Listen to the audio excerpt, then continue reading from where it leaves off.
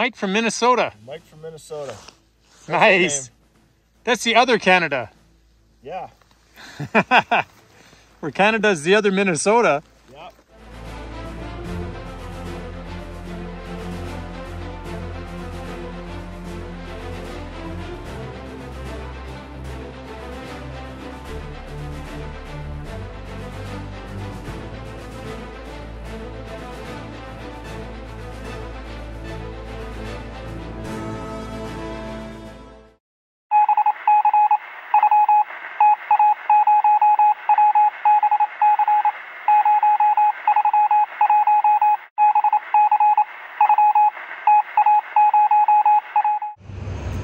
Well, good morning. We're in Missoula, Montana.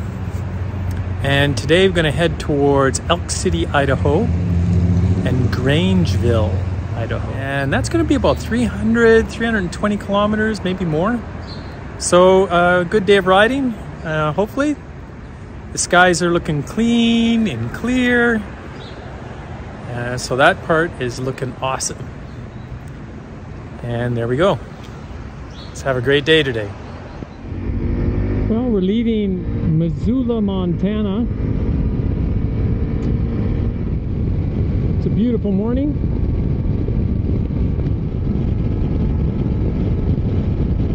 Well, here we are in Darby, Montana. I would have made it here last night, except it was kind of chilly and Missoula was closer, so Missoula won out.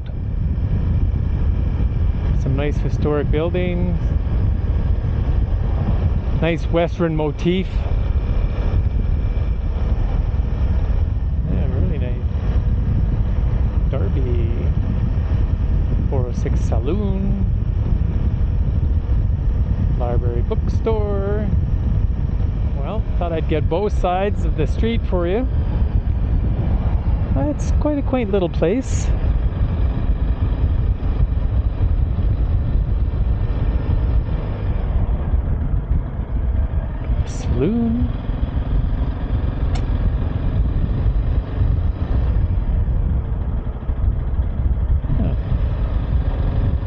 Montana has a lot more open terrain. This is uh, looking east where Conner Cutoff Road. Let's see what that's like.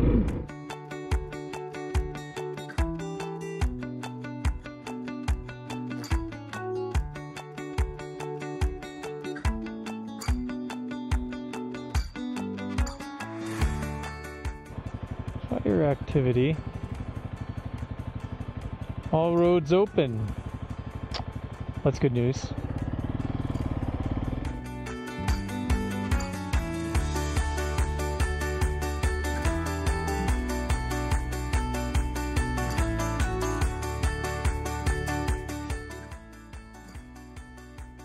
That's our beautiful road.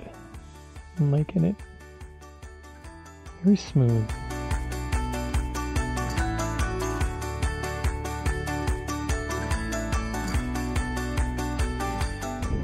That's a nice curvy section.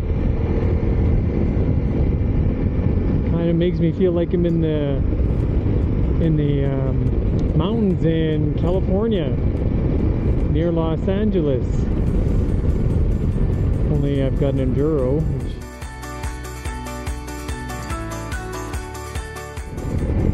Beautiful curvy road. I guess if you can't have dirt, curves.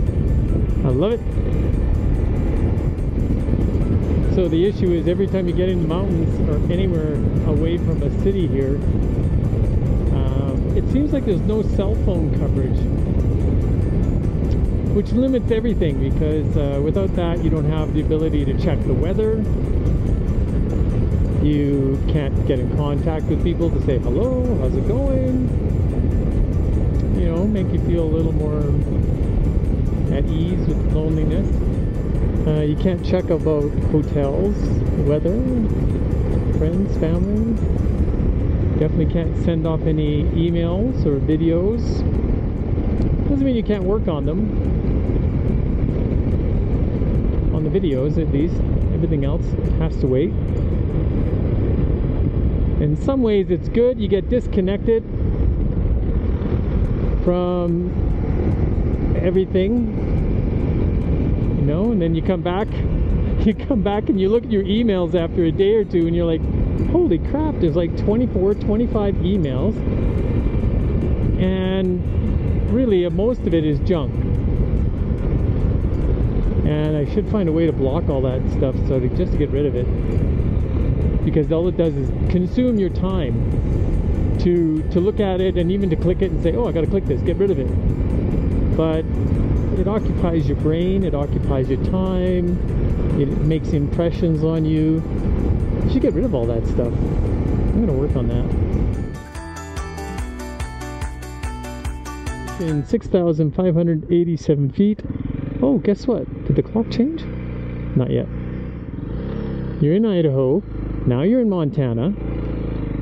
And now you're in Idaho again. well, hello, Idaho. You're back, and this side of the mountain's colder. Just like that, boom. I don't feel like I'm gonna warm up a little bit. I think I'll put a layer on. Something that happens, uh, if you don't know, is that it might feel a little cool at first, but after a while, it's dropping your core temperature down, and you don't even know it, but you're setting in for like this chill that you can't seem to recover for quite some time. I mean, it's not like bone chilling cold. It's probably, by the feel of it, it's probably like anywhere between, I don't know, maybe 13 degrees. And although that might seem warm, uh, when you've got a wind chill, put a 50 kilometer an hour wind on yourself, which is what you're doing when you're driving through here, or actually 50 miles an hour, 40 to 50 miles an hour. So you're doing 40 or 50 mile an hour wind is what you're doing.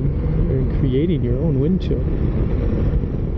I think this is a good bend. This is a good bend I could be seeing here from behind. It's most most the biggest one.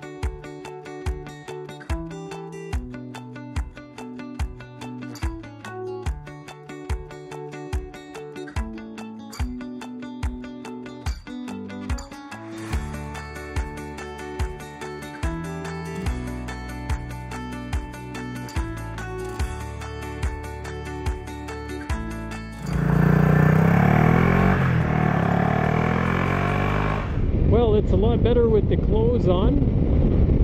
Uh, the chill is completely gone now.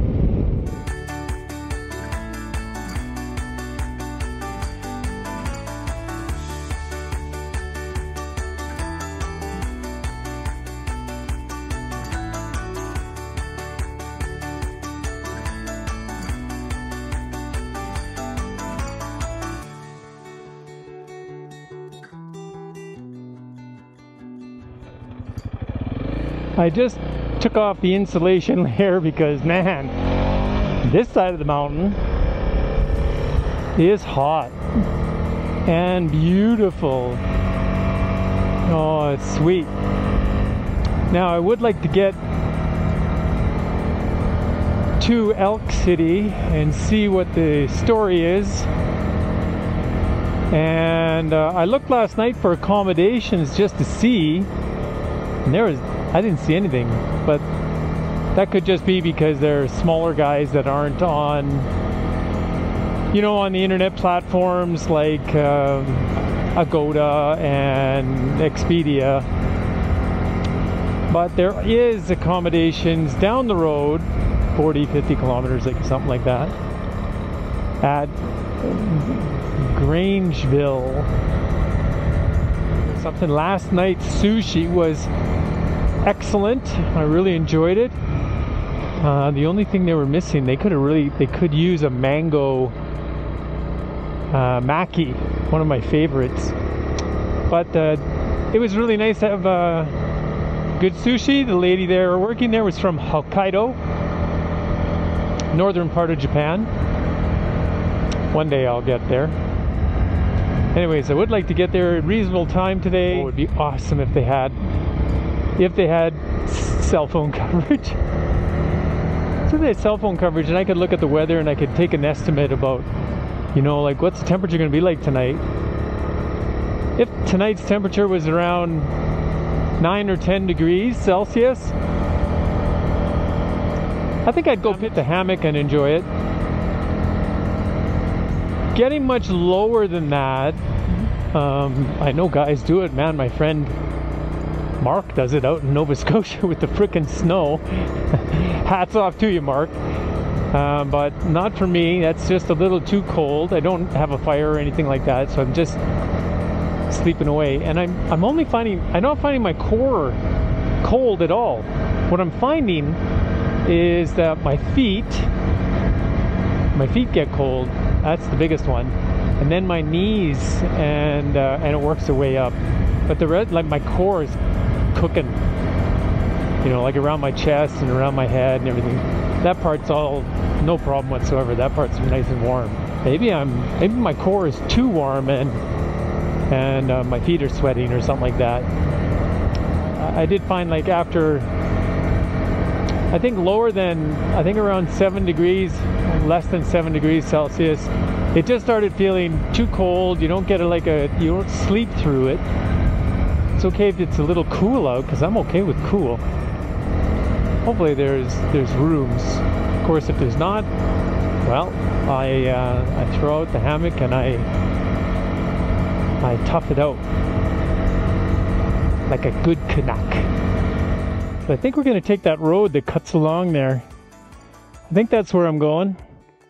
Goes there and around the mountain, I guess. Not sure if you can see that or not, but. Uh,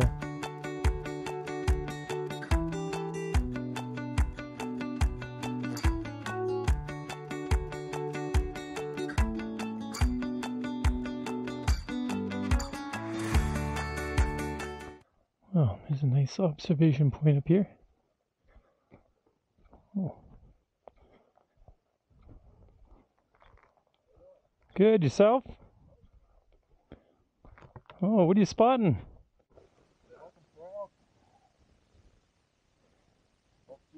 Nothing yet, eh?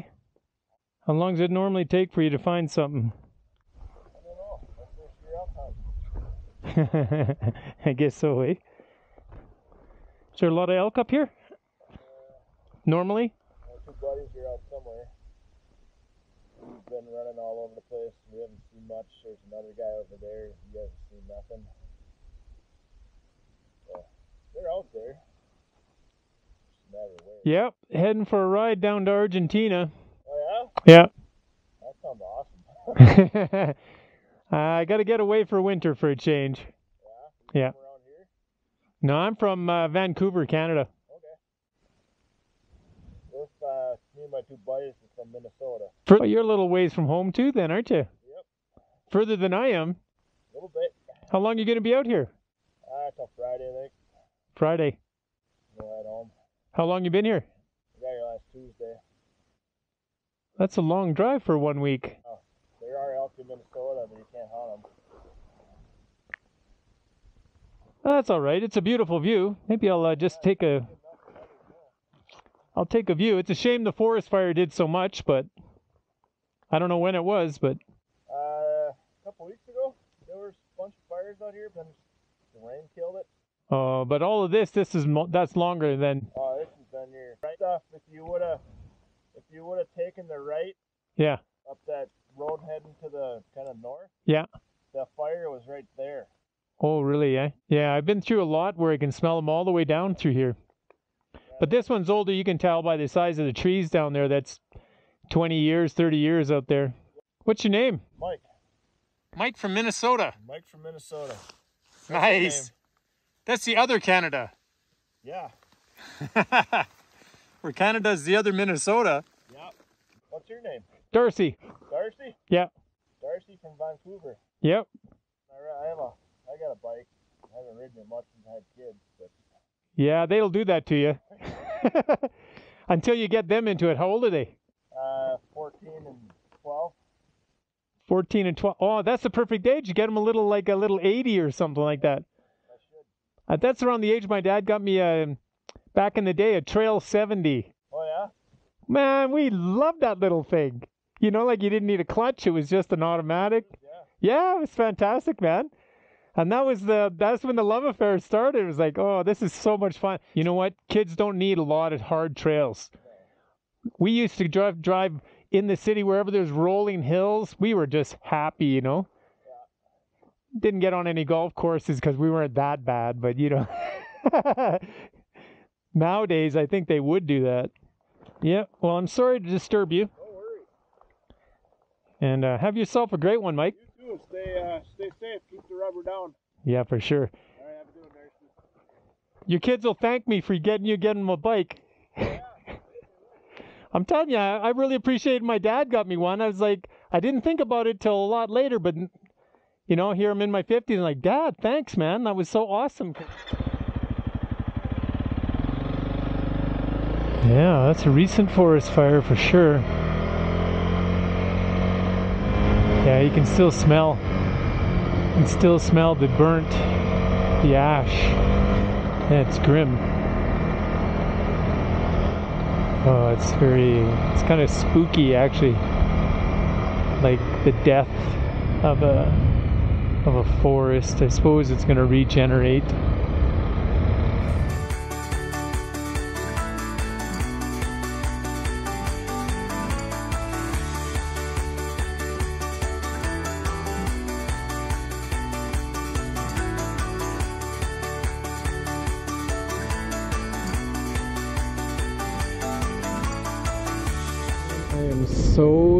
There's a gas station. My light has been flashing. Come into this place. Man.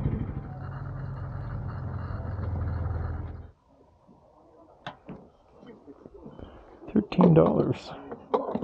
That's my most expensive gas fill yet.